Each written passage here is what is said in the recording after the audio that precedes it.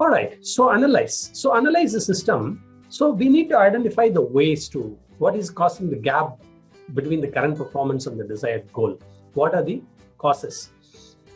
And this is where we need subject matter experts. SME. If you're a trainer, if you're a consultant, if you're a coach, probably you can only indicate to them, give them some clues. Okay.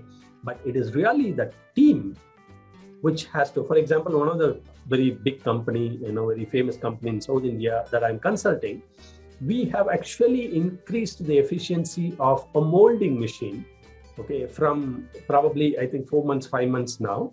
Uh, if somebody is from uh, tvs you can acknowledge that here in this session.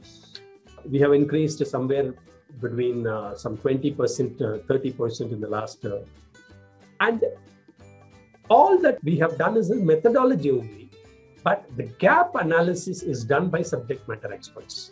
You call it brainstorming you call it uh, you know organizing the causes through cause and effect diagram get into the detail of why-why analysis and then do prioritization matrix etc etc okay?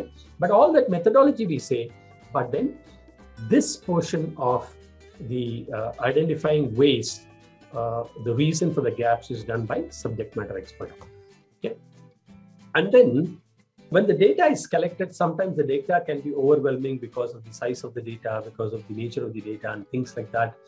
Uh, so we used to take the help of technology. Okay. I always say this information is for decision making. Now, if you have correct and complete information, you can make correct and complete decision. Okay, timely decision. Okay. If you make correct and complete data, and timely data. Timely, correct, and complete data, you can make timely decisions, okay, and correct decisions. So when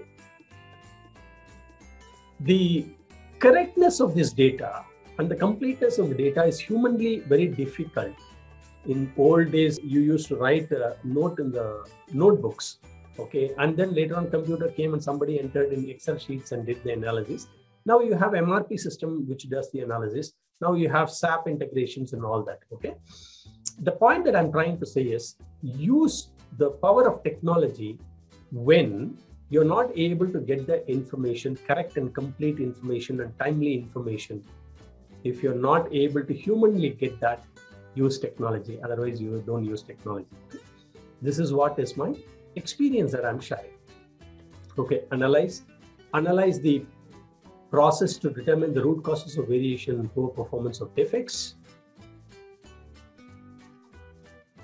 So I'll teach you about uh, the root cause analysis tools. Okay, we all know Ishikawa diagram or fishbone diagram or cause and effect diagram. Okay, we all we all know about why-why analysis, the tree diagrams and things like that. We will discuss in depth about those tools. Okay. So this is also, you know, uh, how do you make sure okay, you don't have the risk of failing? Okay.